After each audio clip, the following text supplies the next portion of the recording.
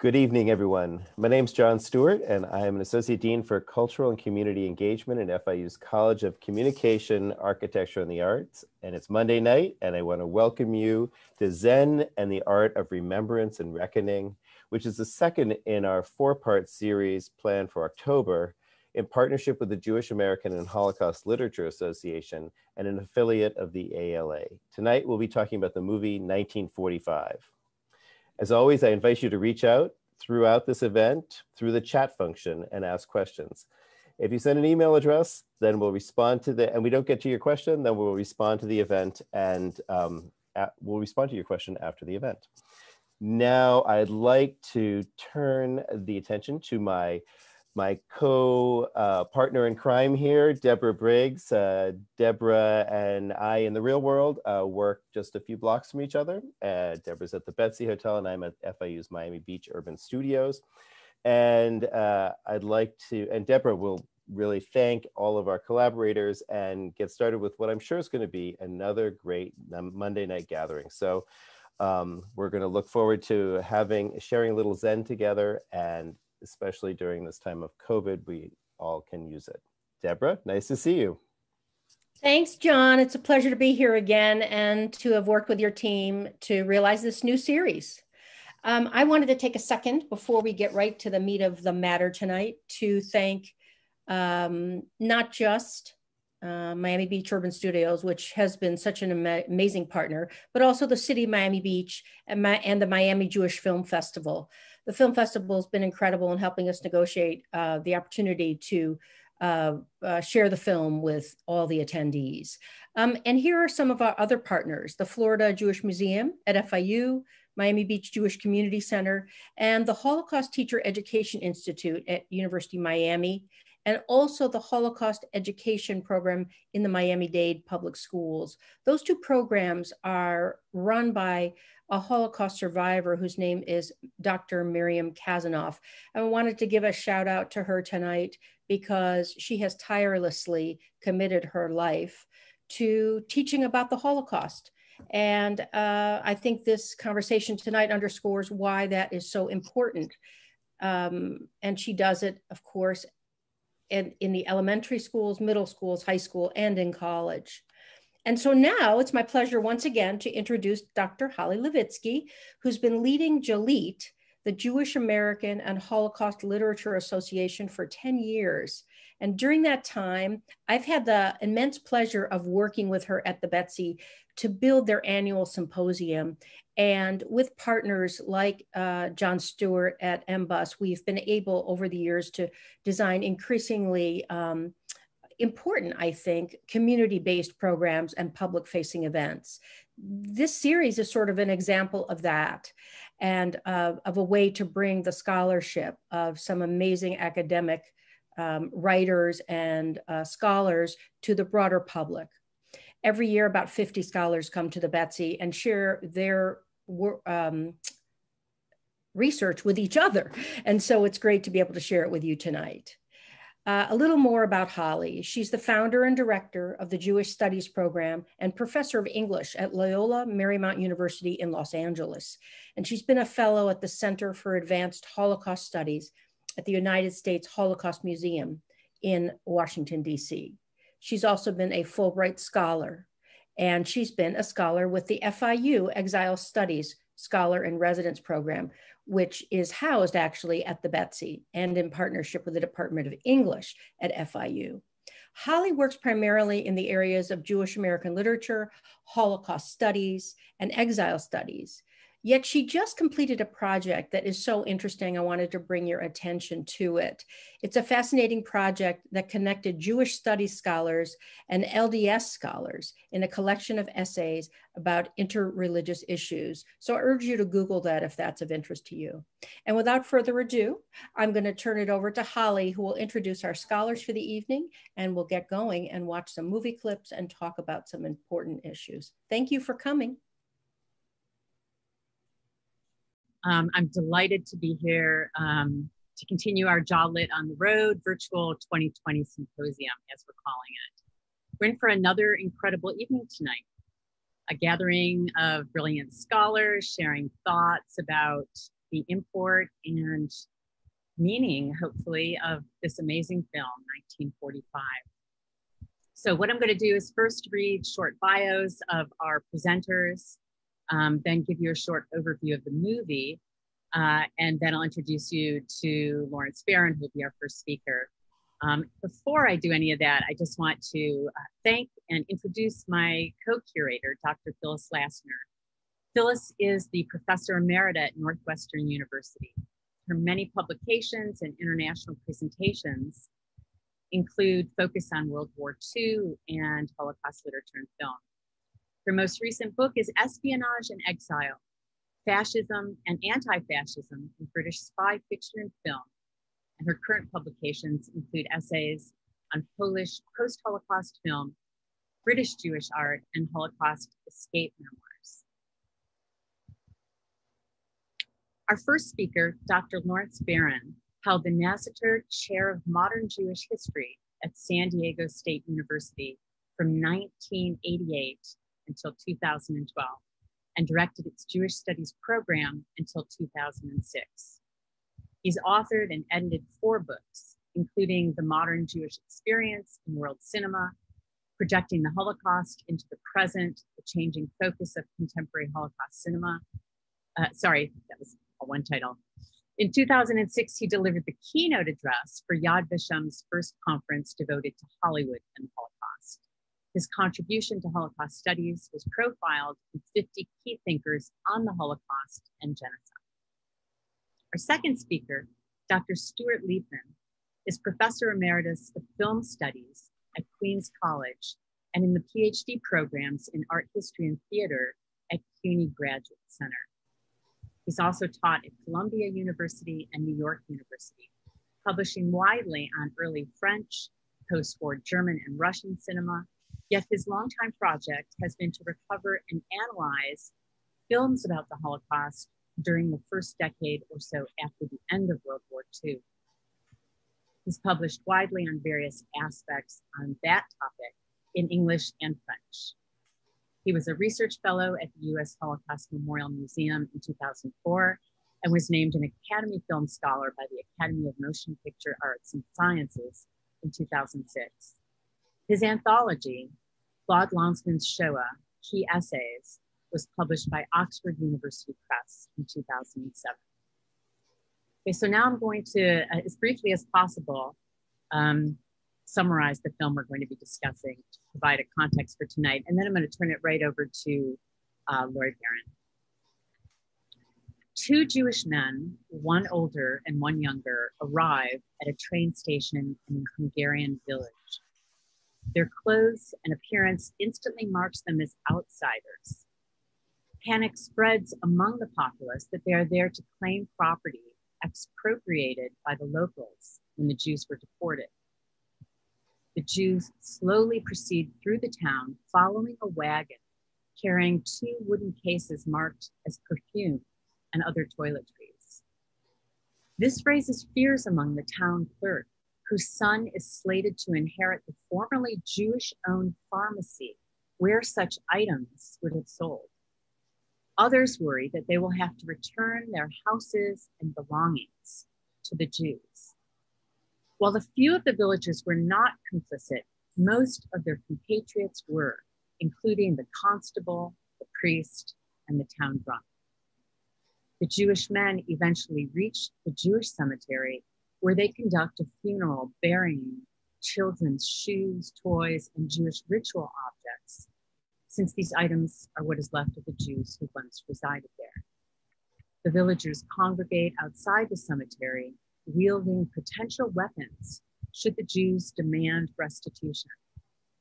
Meanwhile, the jilted bride of the third son sets fire to the drugstore. The Jews depart on the train, belching dark smoke that hovers above the countryside. Now I turn it over to my friend and colleague, Lloyd Baron. Thank you, Holly. Most Hungarian Holocaust films are set in Budapest. 1945, on the other hand, is set in a small village in the countryside. This is significant because of the rapidity and totality of the Holocaust in the Hungarian provinces. The Horthy regime was anti-Semitic before it allied itself with Germany. Indeed, it had introduced its, it came into power in 1920 and it introduced the first anti-Semitic laws in the interwar period in Europe. But its anti-Semitism was more about economic, political, and social discrimination and not extermination. The Hungarian army did deport 20,000 foreign Jews who fell into their hands in Subcarpathia to Ukraine, and the army participated in their massacre there along with the Einsatzgruppen. It also conscripted able bodied Hungarian Jewish men into labor battalions for lethal work assignments that killed 28,000 of them. Yet Hungary resisted German demands to deport Jews within its pre wartime borders, unlike other collaborationist regimes. In 1944, it contained the largest Jewish population remaining in Europe, 820,000. Of these, almost 300,000 were foreigners. As the German war effort faltered and the Red Army advanced, Horthy considered making a separate peace with the Allies. This was the pretext for Germany sending troops to occupy Hungary in late March of 1944, legalizing the Hungarian equivalent of the Nazi party, the Arrow Cross, and installing Hungarian racists in key governmental positions. In the provinces where 240,000 Jews lived, relocation and ghettoization occurred in April and ended in mass deportations to Auschwitz that began in May and lasted until early July and eventually totaled 473,000 Jews. The rural Jewish communities, which were predominantly Orthodox, were decimated, and their Hungarian neighbors enriched themselves by purchasing Jewish property and belongings for a pittance at, or, at auctions. This was 13 months before the story of 1945 happens. So the vulnerability to returning Jewish property, particularly as the Soviets called for redistrib redistributing property, were fresh. Though not as widespread or deadly as pogroms in Poland, two post-war pogroms occurred in Hungary in 1946, which also served as precedents for the plot line of 1945. The movie resembles Hollywood westerns like High Noon, with the storyline of strangers coming to town and causing a panic about nefari- the nefarious intent of their visit. As you will hear, and you will hear much more about that from Professor Liebman. The movie is suffused with iconic images and items from the Holocaust. The director did this because he wanted to show these objects from the Shoah in a realistic way. From its outset, the train and the smoke it belches remind us of deportations in the crematoria. Two wooden crates are unloaded, and they are big enough to resemble the pine caskets Jews are buried in. A railway worker closes the latch of an empty freight car. Moments ago, that car was full of cargo, and only two crates were removed from it. Now it is empty, suggesting that the human cargo had been exited into the confines of a death camp. The background music is dissonant and foreboding. The high contrast black and white palette provides a documentary look, but lends a dark tenor to the film. The station master jumps on his bike to warn the town clerk that Jews have arrived. And I'm actually going to pick up on that. So I want to talk a little bit about the background noise. From the beginning, we hear not only hear the engine coming in, it's making hissing sounds that almost sound like the breathing of a beast. You can constantly hear horses segue through the scenes. Uh, and Török has talked about, he says, this is not really a dialogue movie. There's a lot of silence, a lot of atmospheric voices, music, horses, that is really important. This is a non dialogue movie, so the atmosphere is much more important. But to go back to the station master, gets on his bicycle to warn the village clerk, and we're going to pick up that scene.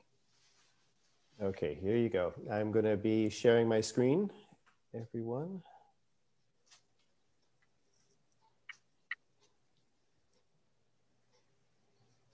Jó napot! Mi van? Zsidók jöttek. Ládákat hoztak illatszerekkel. Illatszerrel? Helybéliek? Olyan egyformák ezek, kalapszakál. Hányan vannak? Ketten. Nevük? Csak az egyikük neve szerepelt a szállító levélen. Valamilyen Sámuel, Sámuel Herman.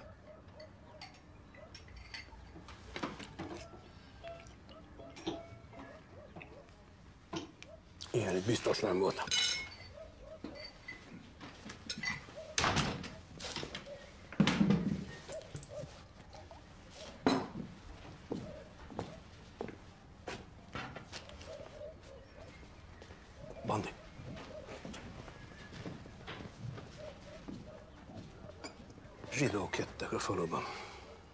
Szólj a többieknek. Előbb az asszonynak. Írja a többihez.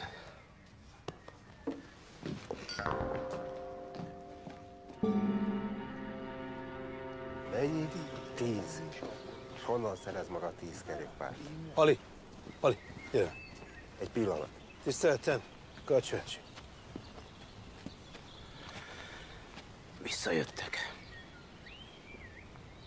Jó van, Kacsi bátyja?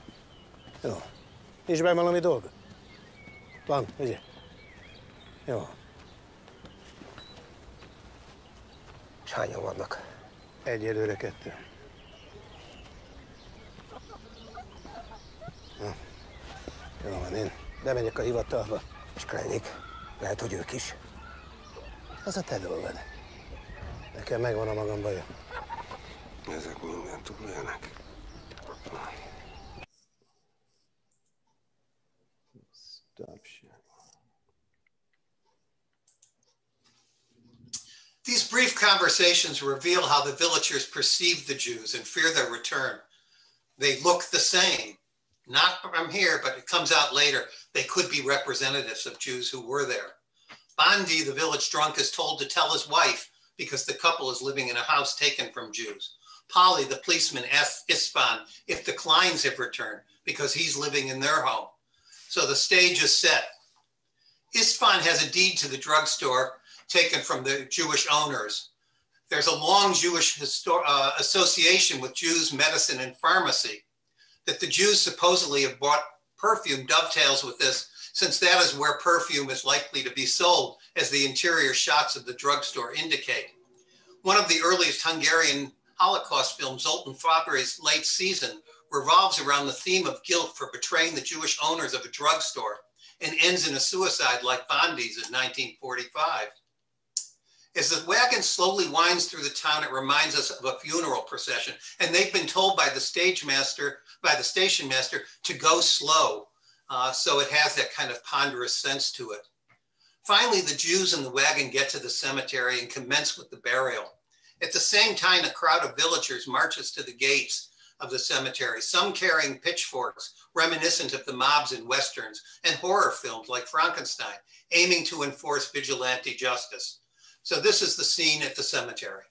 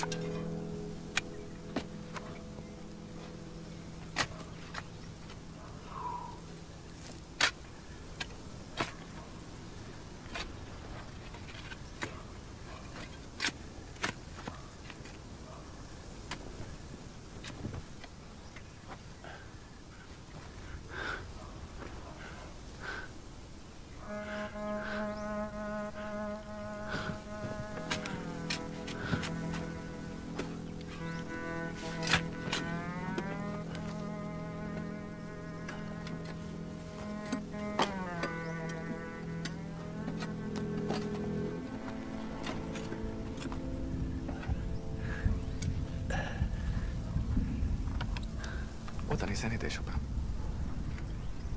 家族。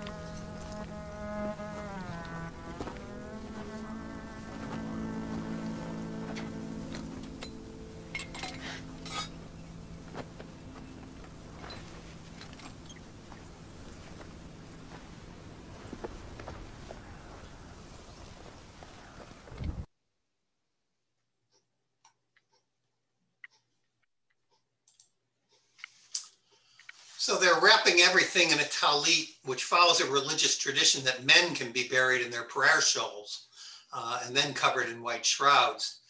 Uh, the shoes are icons from the piles of shoes at Auschwitz, but they're not just shoes, they're children's shoes, uh, which makes it even more poignant. And in Hungary, the shoe has even more resonance because of the 2005 memorial uh, in Budapest, the shoes on the Danube promenade, which commemorates the shooting of 20,000 Jews from Budapest on the banks of the Danube in Budapest by Arrow Cross members in December 1944 to January 1945. The toy train, again, not just the children died, but deportation trains. And then there are the prayer books, uh, the scrolls, the menorah. Uh, why these items? Uh, it's interesting. The man who wrote the story, Gabor Szanto, in the original story, which is called Homecoming, uh, based his uh, story on the actual practice that occurred in Hungary when uh, Jews went back to communities to bury the remnants of their dead.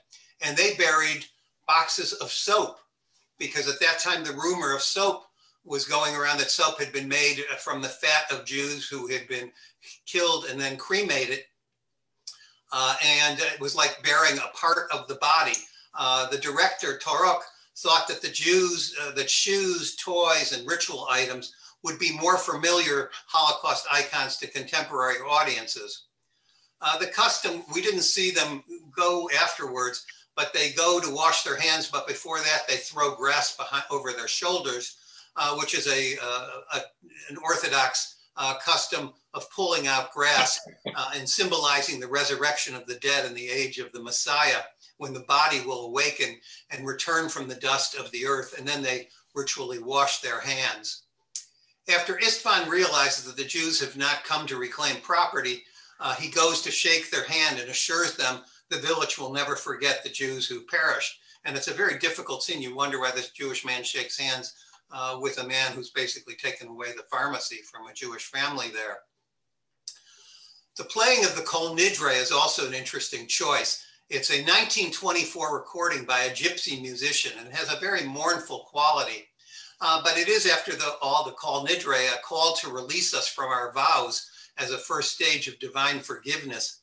In that sense, it struck me as an odd choice, since most of the villagers lack any sense of remorse except for Bondi, who hangs himself out of guilt, and Arvad, the son of the uh, clerk, who uh, decides to move away rather than stay in this village. Uh, it would have been better perhaps to have the El Malei Rachamim uh, chanted, and it may be chanted. There is a little bit of chanting we hear in the scene, but I'm not, I can't make out if it's that or the Kaddish. It's just not clear. Uh, meanwhile, another drama is playing out. Arvad, the son, no longer, he's supposed to marry that day, uh, and then uh, run the drugstore. Uh, but he decides he can't do it because he's found a family photo album of the Jews who once owned the store and gets so angry that he realizes what his father did in betraying Jews to get the store. He throws glass, uh, takes a bottle and throws it down on the ground. That's going to become important. He decides to leave the village, tells his bride to be it's over, and she's very angry. She runs out. She sees the man she really loves with another woman and then angrily runs to the drugstore and burns it down. So let's show that clip.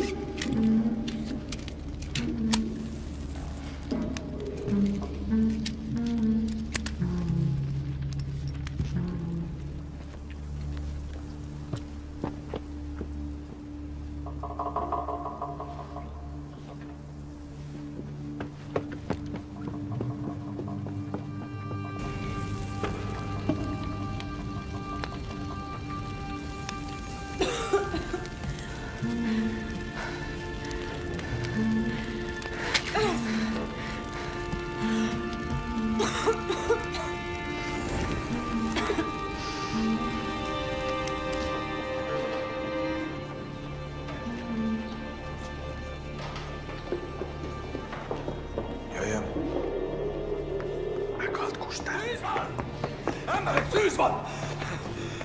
Segítsenek! Ég az üzlet! Van. Ég az üzlet!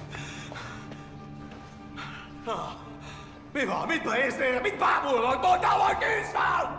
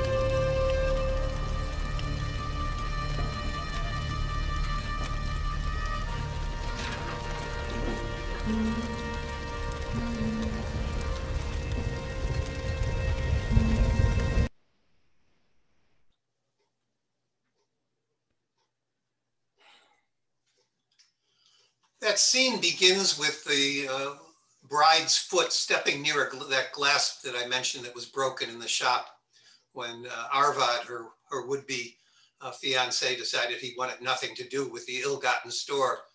She uses the perfume as an accelerant, turning something that smells good into the stench of fire. The two actions together harken back to Kristallnacht, with the breaking of the glass preceding the burning of synagogues. The last thing we see is the burning of the pages from the Pollock family al- album. This was the family that owned the drugstore before. Earlier, the town clerk had burned the promissory note, deeding the store to him to wipe out the legal record of that transaction. Now, the burning of the photo album eradicates the visual evidence they had, uh, all, the only visual evidence they had that that uh, that Pollocks had ever resided in the village. Thus, he breaks his promise to remember the victims that he told uh, to the two Jews. When Istvan returns to his office, the ashes from the burnt promissory note are still smoking, linking his attempt to destroy the paper record of his betrayal of the Pollocks to the destruction of the drugstore and to their photo album. The movie, the fire gets put out by a torrential rain. Uh, although some critics surmise that this implied a cleansing rain as the iniquities of the past had uh, been wiped out, Török says no, it happened because rain poured on the last day of shooting.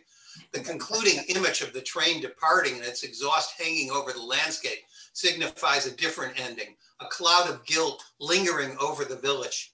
This interpret, interpretation dovetails with Török's confiding that he focused, quote, on the guilty parts of society, the collaborators, the clerk, the policemen, the priests. That was our way of discovering the story, the layers, the layers of what I would call the venality of evil. Evil that occurred without the participation of the Germans or the invocations of Nazi racism. Uh, and all of this is reinforced by the film's somber visual tone, its ominous soundtrack, and the erasure of any traces of a prior Jewish presence in this village. And now I'm pleased to pass the baton over to Stuart Liebman for his remarks. Thank you, Laurie. Uh, good evening, everyone, and thanks for joining this event. I want to thank Phyllis Lassner and Holly Levitsky for inviting me to participate, as well as Deborah Briggs and John Stewart, whose technical team produced the clips Laurie and I are using. And I want to add that it's been a pleasure to work with my colleague Laurie Baron, too. 1945, by the Hungarian filmmaker Ferenc Török, was released in 2017 and enjoyed an extremely modest success, only limited American box office earnings and uh, a very few prizes internationally. It followed in the wake of another Hungarian Holocaust film, Laszlo Nemes's Oscar winning Son of Saul, whose exceptional brilliance was perhaps too hard an act to follow. Indeed, I think that 1945 has been unfairly neglected. Subtly, subtly treats an important subject, the return of Jewish survivors to the villages and towns from which they were deported. And I welcome the opportunity to talk about it with you this evening. To really do it justice, I would need to discuss it against the broad background of Holocaust film production in both communist and post-communist, now illiberal democratic Hungary, but there is unfortunately insufficient time for me to do so. And I would also want to mount a defense of a filmmaker who carefully analyzed the strategies of his medium to create a work of film art about a subject that for many does not require such considerations.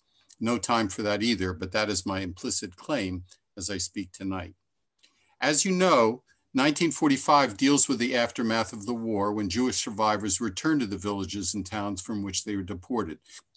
This has been a topic of research and debate among Holocaust scholars for at least 20 years, since Tomasz Gross's book Neighbors generated a huge controversy in his native Poland about the murder by Polish villages of their Jewish neighbors in Jedwabne.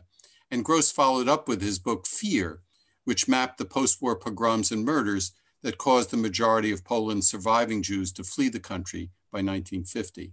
These publications prompted huge debates in Eastern Europe, and this is the general intellectual and political background for Török's film subject.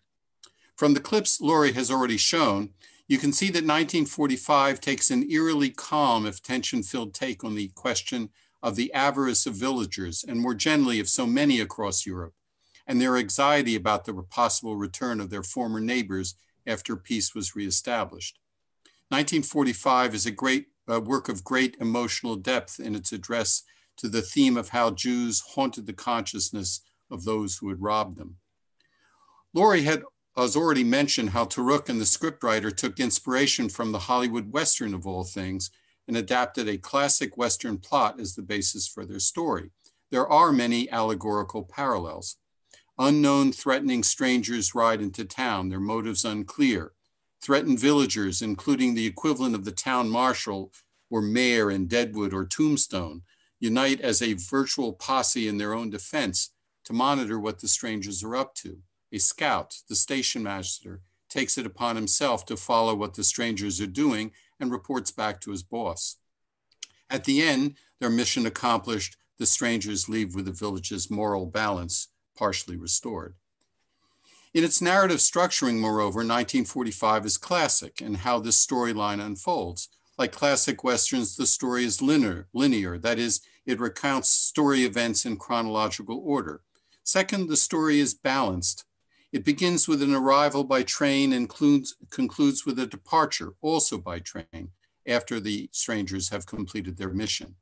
Note, by the way, how many Westerns end with a burial as this quite unorthodox one, no pun intended, does. And the entire story takes place in a compressed period of time, about six hours in all, which is a fundamental premise of classical drama going back to the 18th century, although not all Westerns comply with this rule as well as 1945 does.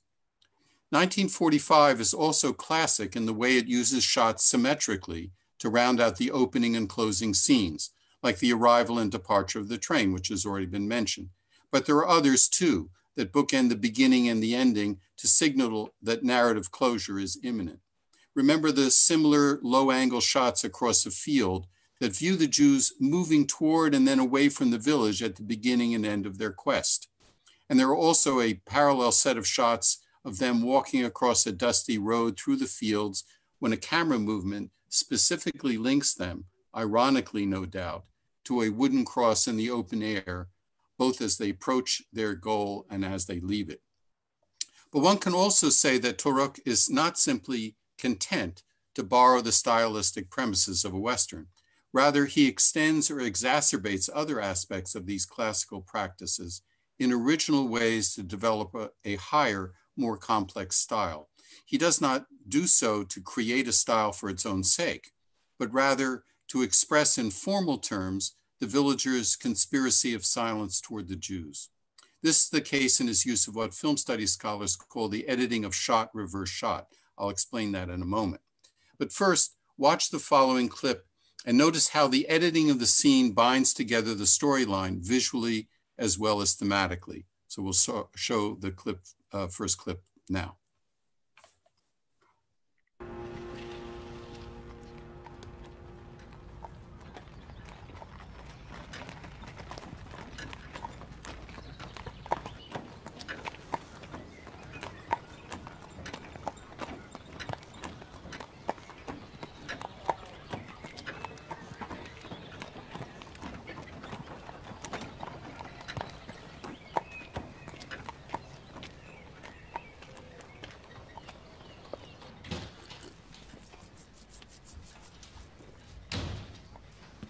Mit parancsolsz, Jancsikám? Dohányt szeretnék. Adjál neki, fiam, meg töltse tovább pesgőt is. Pesgőt parasztnak, István bátyja. Kár az olyan drága italért. Új világ van. Nem számít ki úr, ki paraszt. Igaz? Csak magyar legyen.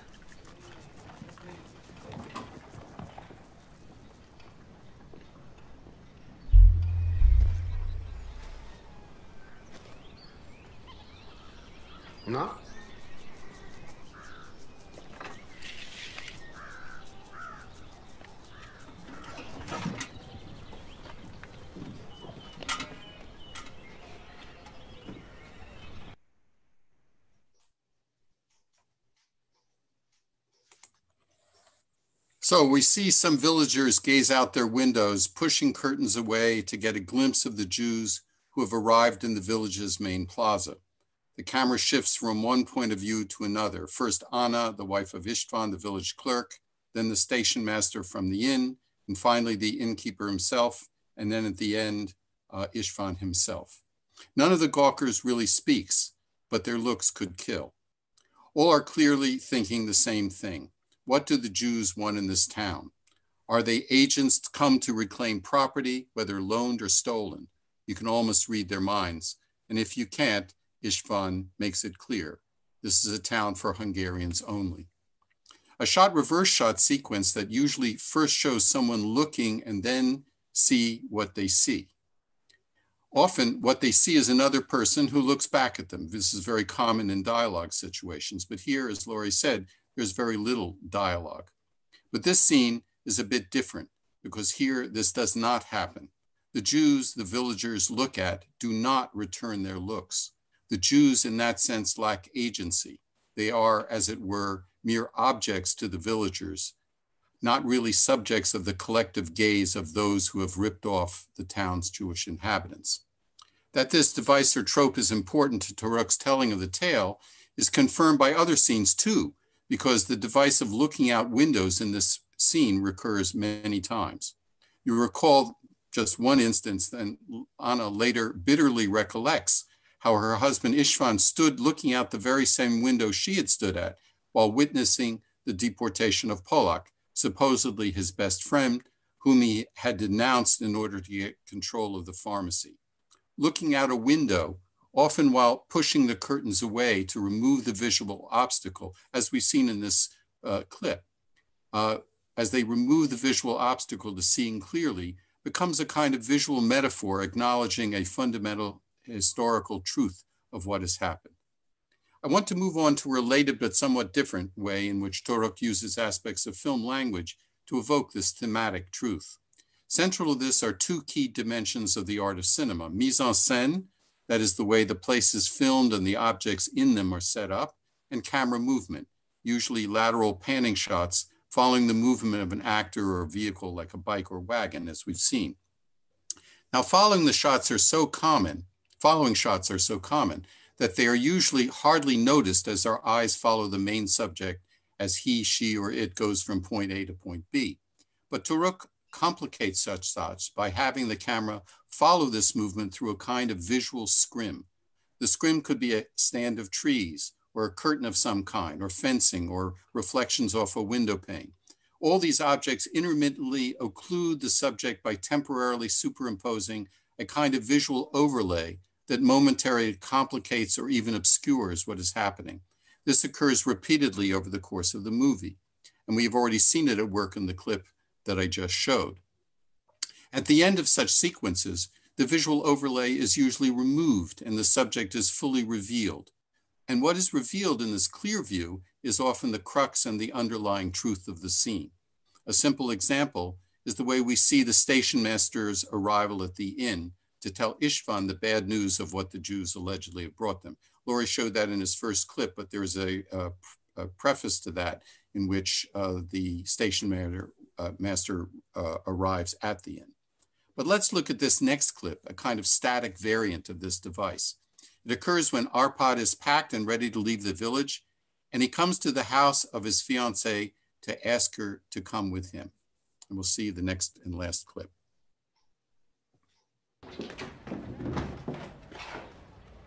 Csókolom. Hát te. Nem készülődsz? Kis Rózsihoz jöttem.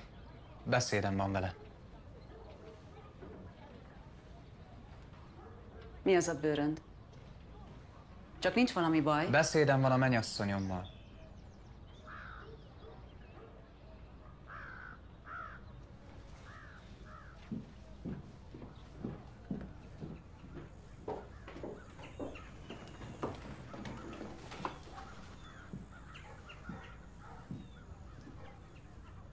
El kell mennünk ebből a faluból. Azt akarom, hogy velem gyere. Most? Háromkor indul a vonat. Én nem megyek innen sehová. A Jancsi miatt?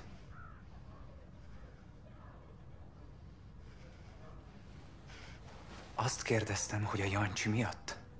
Én nem megyek innen sehova, érted? Ez az utolsó szava. Igen, takarodjál el innen.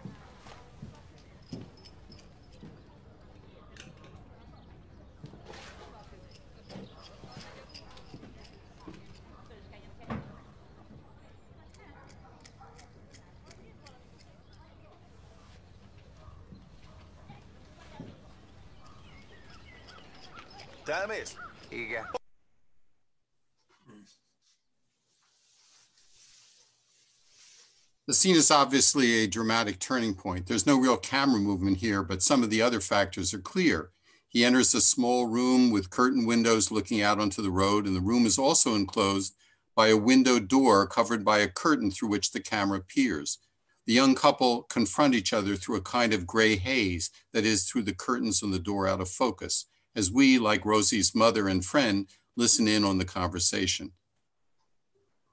When Arpad grows angry, uh, Rosie refuses to admit that she still loves Jancsi and orders him to leave. He complies, and she moves to the window to look out where, in fact, she sees Jancsi, the man she truly loves, as he walks down the road, while Arpad, the fiance she ordered from her house, continues to the train station and on to a new life. What she sees clearly through the window is the fact of her triple loss of Jancsi as her lover, of Arpad as her husband to be, and of her future life as the wealthy owner of the local drugstore and parfumerie. Realizing the truth of her losses, she moves to take out her anger on the drugstore, and you've seen what happens. One final way Török usually reveals the ultimate historical truth of the Jews' dispossession is through the use of close ups. There are, of course, many close ups in the film, mostly of the faces of guilty, worried villagers. But I have another group of close ups in mind that stand apart from the immediate drama the heavy silver cutlery placed on one of the wedding tables, the clock with Hebrew letters, the tattooed numbers on the forearm of the younger Jew while he helps to dig the grave, and most tellingly, the treasured objects the Jews bury, which Laurie has described and explained so well. For me, these close ups have uh, an unanticipated and therefore a powerful effect. One might say that the truth about the expropriations burst out at such moments by reducing the fact of the villagers' avarice, avarice to the display of these humble objects. In conclusion, these brief analyses of scenes reveal how subtly Török has used the expressive techniques of his medium to compose his homage to the dead. By portraying something of the agony of what happened in this quietly stylized way, he makes us feel and understand the agony of the Jews in the story more intensively. And not only the Jew in the film who shakes hands so reluctantly and perhaps naively with the town clerk who promises to hold dear the memory of the loss of their loved ones, but also of we in the audience who know that the promises will not be kept. So thank you for your attention. And now Laurie and I would be happy to take a few audience questions, which John Stewart will facilitate. Thank you very much. Those are amazing, amazing comments, and a, a few questions have come in. Um, one was uh, a question, and you can decide who wants to take this about the um, particularly about the vehicles that were in the film and how they were the very various vehicles that were used. They were obviously instrumental in a number of different occasions. And one person was wondering what the significance in that context of the Russian soldiers in the Jeep might have been. Um, anybody want to comment on that? Well, the, the movie, and it's an interesting movie because a, a lot of movies in Hungary made after 1990 tend to emphasize uh, the Soviet occupation and then being a, a satellite of uh, the Soviet Union is almost as bad as the Holocaust. Uh, if you go to Budapest, you'll probably go to the Museum of Terror, uh, which you know there is a Holocaust museum that uh, is hasn't still open. There's a, a big one, but they they don't seem to be able to finalize it. But there is this big one which focuses much more on uh, the Russian rule, Soviet rule, and you don't see, you know, they're kind of benign almost uh, in this movie. You know, yeah, they they harass the one Jewish guy, try to take away his hat, and they chase. You know, when they see uh, uh the bride, they they sort of you know give her cat calls, uh, but otherwise. Um, and we know they're going to expropriate property. They're going to redistribute property, but otherwise, they're, it's not an evil sort of scene. So uh, I don't fully understand what's going on. Maybe maybe Stewart has a better sense. No, I think you I think you nailed it right there. It's it's just a reminder that they are themselves occupied now, and that the, their ill-gotten gains will in fact probably be liquidated as small pharmacies and places like that are uh, nationalized. In fact, the first scene, one of the earliest scenes we see is Jancsi with Istvan. Jancsi's in a field and he's demanding to see the registries. Uh, Jancsi is very, I, I, don't know if we could call him pro Soviet, but he's happy that the community has been liberated uh, and he wants to see justice. He even speaks some Russian. Yeah. Yeah, we hear we hear him try. I, I, I had another question uh, for you all from the audience. It was the about the significance of Arpad's leaving, and I don't know whether you have thought about this, but they're only um, he's the only person besides the two jewish visitors who came in for obvious reasons to leave the town is there anything that you make of that um, or any ways to think about that well i think laurie mentioned in, when he made his comments that uh, having discovered the Pollock album by chance it would seem in the storeroom behind the pharmacy that he understands that, in fact, the father has acquired this pharmacy uh, inappropriately, illegally even. And uh, I think he has some moral fiber, uh, is been forced into this kind of marriage by his parents, by his father anyway, and um, feels awkward about that as well. And when he realizes that his uh, wife to be is still in love with his rival, uh, he can't take it anymore and he decides to leave with his mother's blessings, uh, gives him money and urges him to leave. I was just going to, one other, it's not really a question, but we'll kind of wrap up the questions with this. It's an observation from one of the participants. Oh, well, sorry, one of the, uh, one of our community members, uh, since we're all in this group together. Uh, two things I will never forget about this film. One is that I remember, if I remember correctly, the Jews had no dialogue. And the two, the scene when the Jews removed the objects from the trunk, I was so emotional that I sobbed aloud. And I know you chose that, uh, that scene to, dis- to show. Is there anything that you'd follow up um, with about that scene? They do have a little bit of dialogue. The older man has a little bit of dialogue, but very little. Uh, I mean, Stewart has it. They're, they're objects. They're just sort of creatures that come in that uh, uh, just sort of as reminders, they're ghosts. Mm-hmm. Uh, but that, I, I, think that is a very powerful scene, and that they go through the rituals as well. You know, they also wash their hands. Um, and do this throwing of the grass over their shoulders. Uh, it's a very powerful scene. All right, thank you so much. With those uh, uh, with those uh, questions and comments, I think we're going to turn now um, to uh, Dr. Lassner. Would you like to make some summary comments? Um, first of all, many thanks to you, John, and also to Stuart and Lori for their illuminating interpretations. I'm just going to offer a few words to segue from 1945 to next week's film, Remembrance.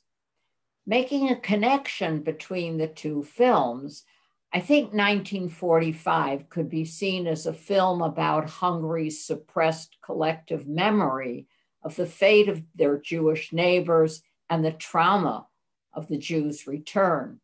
As Laurie and Stewart explained so well, the return of just two Jews and their slow procession through a Hungarian village inspires fear and rage that they may be seeking reparations or even retribution. Memory in this film and in remembrance, obviously from the title, becomes a force so powerful that it literally ignites a fire that burns down the pharmacy, as you saw. And of course, fire, as Lori pointed out, uh, refers to Kristallnacht, and it also refers more generally to the fate of the Jews in the Holocaust. And so it, it really is a way of figuratively, in a visual metaphor, showing how the destruction of both memory of the Jews and the possibility even of the Hungarians acknowledging the guilt of their complicity and also the lack of memorializing the lost. Next week's film Remembrance is a 2011 German production that also uh, focuses on Holocaust memory, but as it affects two individuals. Unlike the imagined scenario of 1945, but like so many Holocaust films, Remembrance is adapted from, based on a true story about um, a, a Jewish woman and a Pole who fall in love and escape a concentration camp. I don't want to give too much away, but as preparation for viewing, the war separates the lovers and each one believes the other has died. More than 30 years later, Hannah, the woman, is married and living in New York with a successful husband and their grown daughter. The Holocaust past, however, remains a haunting memory she has tried so hard to overcome. As a startling reminder of her Holocaust experience, Hannah learns that Tomasz, her Polish lover, is alive and so suppressed memory is rev- revived and challenges Hannah to choose between returning to pick up the pieces of her past or committing to her life in the present. Unlike 1945's linear structure, which Laurie and Stewart discussed, remembrance moves slowly, like the two men um, but differently. Remembrance crisscrosses in time between 1944 in the concentration camp and 1976 in New York. The effect of this temporal structure is to show the irrevocable presence of the Holocaust past and its staying power. Pamela Katz, who did extensive research on which to base her screenplay, has said that she felt nervous about writing a film about Auschwitz and about the Holocaust and the aftermath, especially because it was an exceptional story of love and escape, unlike the larger reality of the Holocaust, where millions were tortured and killed. It's noteworthy that her research discovered evidence of four couples who escaped the camp in 1944, the year in which remembrance is set and she included some of the history she found in her script.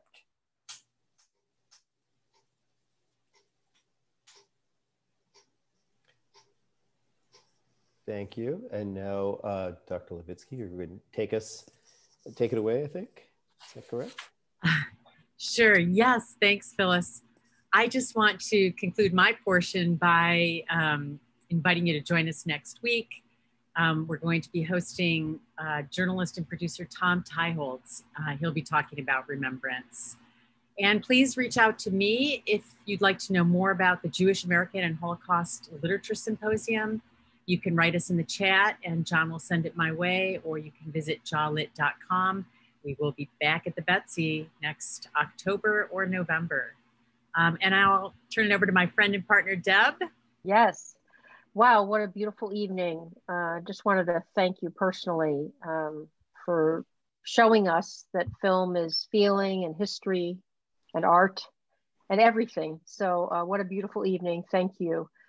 I just wanted to say, um, on behalf of FIU MBUS and the Betsy and all of our partners, we want everyone to come back. We have two more weeks of stimulating conversation like this. Um, we're here next week at 7 p.m., October 19th, as has been mentioned. Um, and John would like me to say that you are invited to unmute yourself now and give our speakers a rousing round of applause. Please wear your masks. Yes, please Great wear your job, masks you this week. Stay safe, everyone. Thank you all for coming. Bravo. Take care. Thank everyone. you. Thank you. Thank you. Thank you. Thank you. Thank you. Shanem Dank. Thanks, Shanem- everybody. Shanem Dank. Thank you.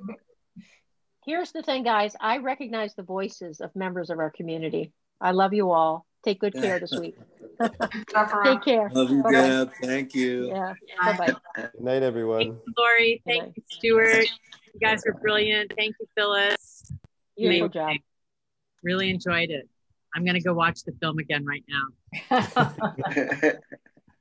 Thank you. Good Night, everybody. Good night, everyone. Good night. See you next week.